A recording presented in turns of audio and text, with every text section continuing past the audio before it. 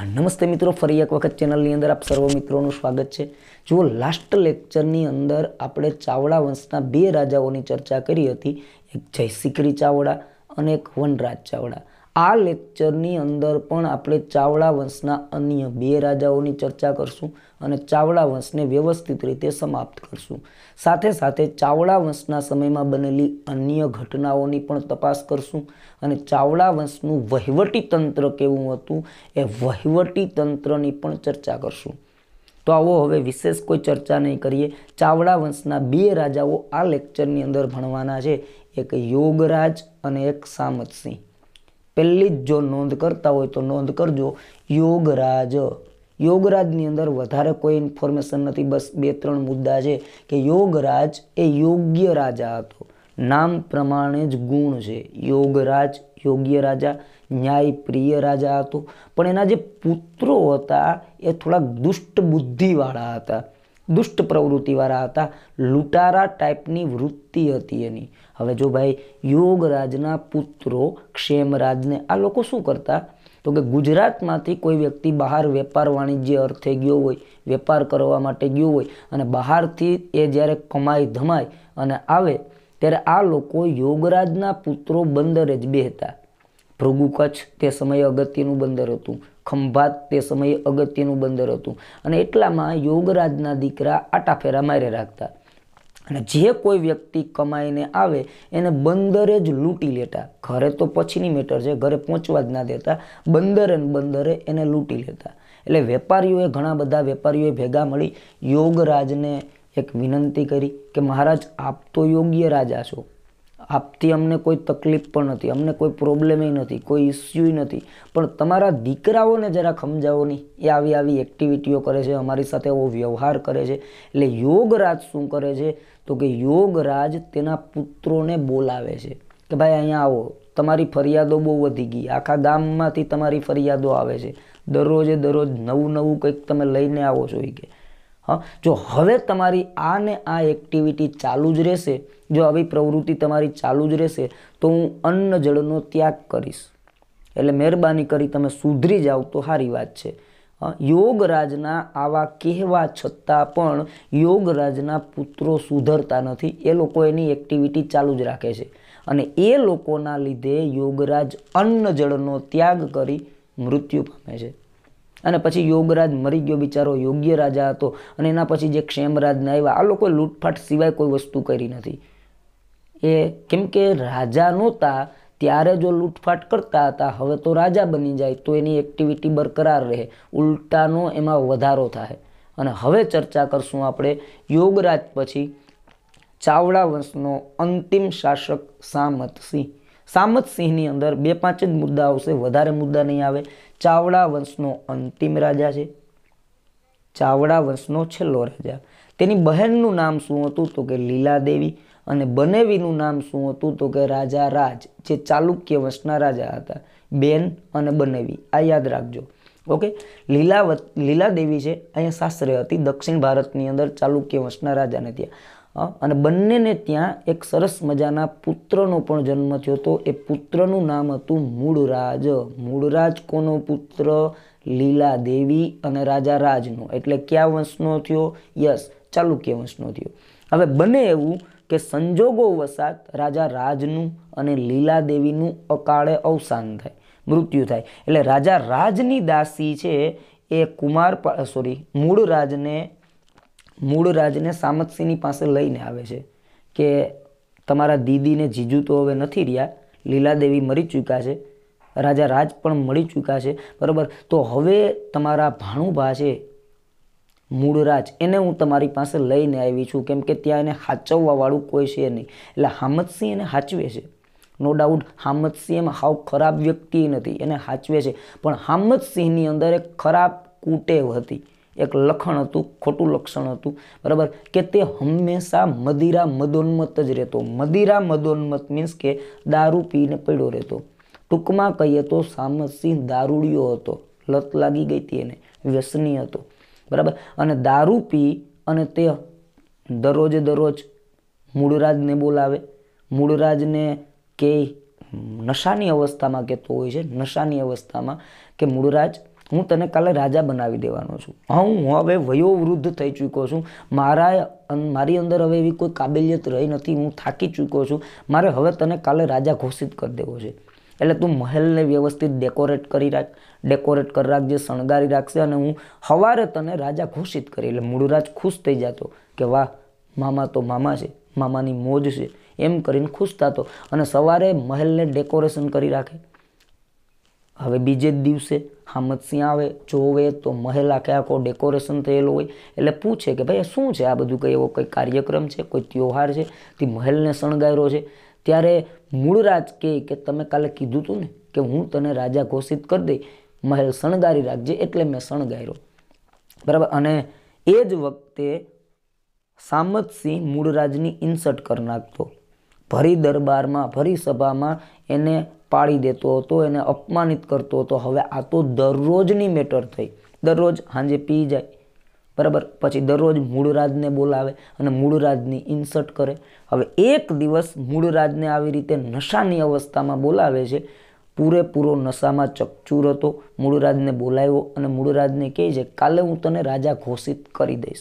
અને મૂળરાજની પછી ભાઈ કંઈક માણસની લિમિટ હોય ને દરરોજે દરરોજ અપમાન. દરેકે દરેક વ્યક્તિનું સ્વમાન હોય. મૂળરાજનું પણ પોતાનું સ્વમાન હતું. એટલે મૂળરાજને ક્રોધ આવે છે અને ક્રોધમાં ને ક્રોધમાં તે મામાની હત્યા કરી હકીકતમાં મામાને મારી નાખે છે અને હકીકતમાં રાજા બની જાય છે. અને એવી રીતે ચાવડાઓનું પતન થયું. દારૂના વ્યસનને લીધે બરબાદ થઈ ગયા. હા, કોઈ લૂંટારાની વૃત્તિવાળા હતા, કોઈ દારૂની વૃત્તિવાળા હતા, વધારે પડતી દુષ્ટ વૃત્તિવાળા રાજાઓ જ આવ્યા હતા. સામતસિંહની હત્યા મૂળરાજ કરી નાખે છે અને સ્થાપના કરે છે સોલંકી વંશની અને ગુજરાતમાં ચાલુ થાય છે સોલંકી વંશ, જે આપણે નેક્સ્ટ વિડીયોની અંદર એની ચર્ચા ડિટેલ સાથે આવશે. ચલો, હવે થોડીક ચર્ચા કરીએ કે ચાવડા વંશના સમયમાં અન્ય કોઈ ઘટનાઓ ઘટી હતી? હા, તો ચાવડા વંશના સમયમાં અન્ય બાબતો પણ બની હતી. પણ એની પહેલાં ખાસ ધ્યાન રાખજો. યોગરાજની ચર્ચા કરી અને સામતસિંહની ચર્ચા કરી. સામતસિંહ દારૂડિયો માણસ હતો, એટલે એના જ ભાણે જ મૂળ રાજે એની હત્યા કરી નાખી હતી અને સોલંકી વંશની સ્થાપના કરી હતી. ઓકે? યોગરાજ અને હામદસિંહ. હવે જોઈએ ચાવડા વંશના સમયમાં થયેલી અગત્યની બાબતો. તો કે ચાવડા વંશના સમયમાં ખંભાત અને ભરૂચ આવા પ્રશ્ન પૂછાવાની શક્યતાઓ હવે રહેશે. કે ચાવડા વંશના સમયમાં નીચેનામાંથી ક્યુ બંદર પ્રસિદ્ધિ પામ્યું હતું? કયા બંદરની જાહો જલાલી સર્વોચ્ચ સ્થાને હતી? તો ખંભાત અને ભરૂચ આ બે અગત્યના બંદર હતા અને વેપારી મથકો હતા. વેપાર વાણિજ્યના કેન્દ્રો હતા. ત્યારબાદ સિક્કા છે એ રૂપક અને દ્રુમ. રૂપક અને દ્રુમ આવા નામે સિક્કા પ્રચલનમાં હતા. સિક્કાઓ આવા નામથી ઓળખાતા હતા. આનંદપુર આનંદપુર એટલે વડનગર, ચમત્કારપુર, આનંદપુર આનર્દપુર આ પ્રશ્ન પૂછાયેલો છે કે નીચેનામાંથી વડનગરનું પ્રાચીન નામ કયું છે? તો આ વડનગરનું પ્રાચીન નામ છે આનંદપુર આનર્દપુર ચમત્કારપુર.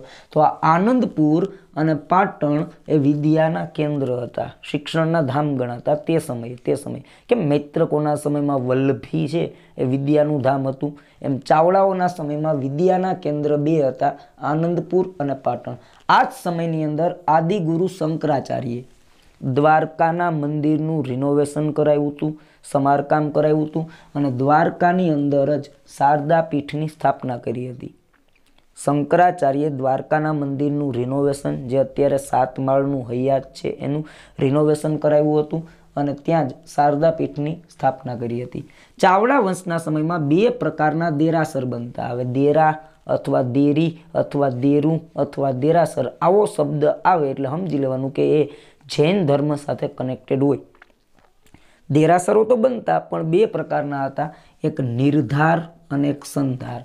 નિર્ધાર એટલે એવા દેરાસર કે જે દેરાસરમાં પ્રદક્ષિણા પથ હોય, એની આજુબાજુ ફરવા માટેનો રસ્તો રાખવામાં આવ્યો હોય. સોરી નિર્ધાર એટલે પ્રદક્ષિણા પથ વગરના અને સંધાર એટલે પ્રદક્ષિણા પથવાળા. નિર્ધાર, કે જેનો કોઈ આધાર જ ના હોય. જેની ફરતે પ્રદક્ષિણા પથ ન રાખવામાં આવ્યો હોય. અને સંધાર એટલે એવું દેરાસર કે જે દેરાસરની આસપાસ પ્રદક્ષિણા પથ રાખેલો હોય. ત્યારબાદ વડોદરાના અકાટા ગામમાંથી ઘણી બધી જૈન પ્રતિમાઓ પ્રાપ્ત થઈ છે. મૂર્તિઓ પ્રાપ્ત થઈ છે, જૈન તીર્થકરોની.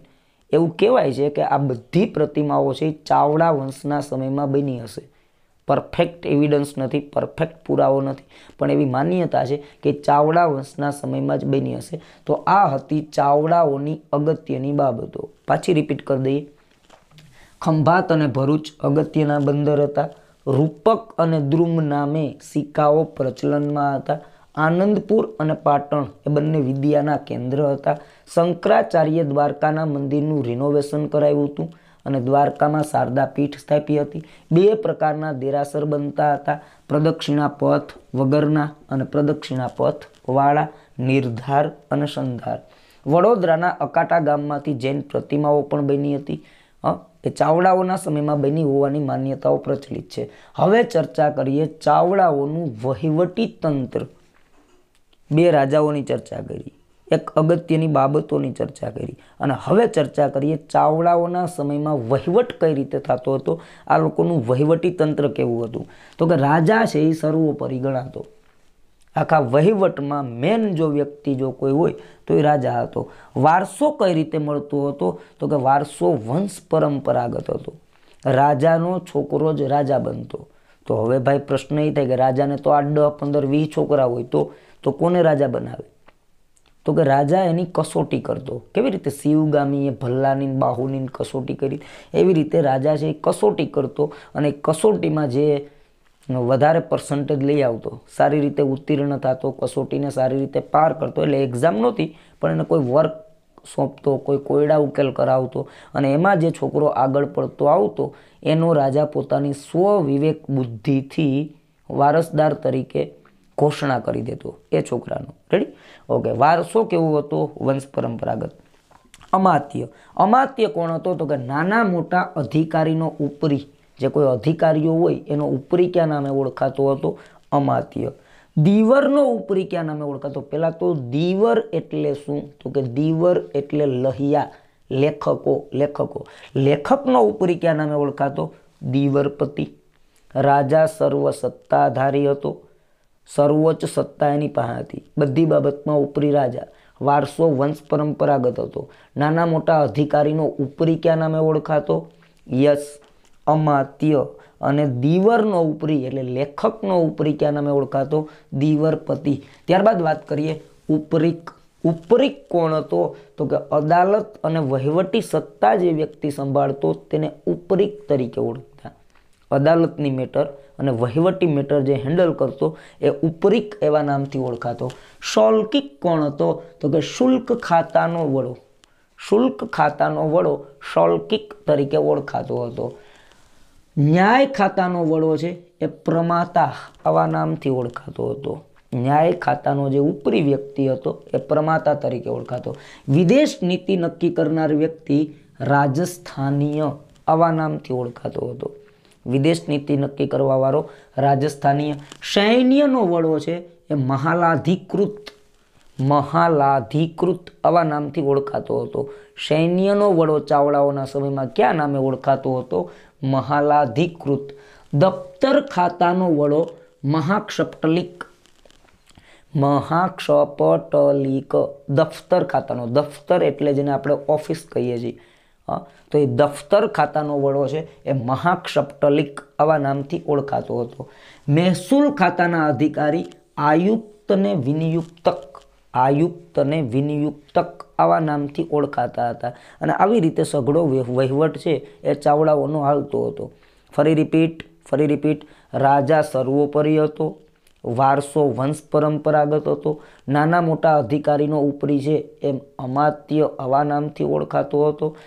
દીવરનો ઉપરી દીવરપતિ, અદાલત અને વહીવટી સત્તા જે વ્યક્તિ હેન્ડલ કરતો એ ઉપરીક, શુલ્ક ખાતાનો જે લીડર હતો એ શોલ્કિક, ન્યાય ખાતાનો જે વડો હતો એ પ્રમાતા, વિદેશ નીતિ જે નક્કી કરતો એ રાજસ્થાનીય, સૈન્યનો વડો મહાલાધિકૃત, દફતર ખાતાનો વડો મહાક્ષપ્ટલિક અને મહેસૂલ ખાતાનો અધિકારી આયુક્તને વિનિયુક્તક આવા નામથી ઓળખાતા હતા.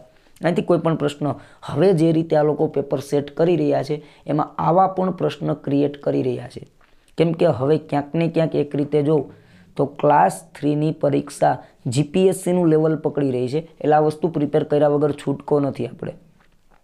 ક્યાંક ને ક્યાંક કોમ્પિટિટિવ એક્ઝામનું લેવલ થોડુંક હાઈ થઈ રહ્યું છે. એટલે પ્રિપેરેશન તમારે આની પણ કરવી પડે. હવે ખાલી એક બે રાજા પ્રિપેર કરી કે વનરાજ ચાવડા આવડે છે, જય સિકરી ચાવડા આવડે છે હામદસિંહ આવડે છે, હાલો વૈયા જઈએ, તો પાછું એવું ને એવું આવતું રહેવાનું થાય. એટલે વ્યવસ્થિત રીતે આ મુદ્દાની પ્રિપેરેશન કરવાની થાય. આ લેક્ચરમાં આપણે ત્રણ મુદ્દા જોયા. ચાવડા વંશના બાકીના બે રાજાઓની ચર્ચા કરી, ચાવડા વંશની અગત્યની બાબતોની ચર્ચા કરી અને ચાવડાઓનું વહીવટી તંત્ર કેવું હતું, આ મુદ્દાની ચર્ચા કરી. હવે નેક્સ્ટ લેક્ચરમાં આપણે ચાલુ કરશું સોલંકી વંશ.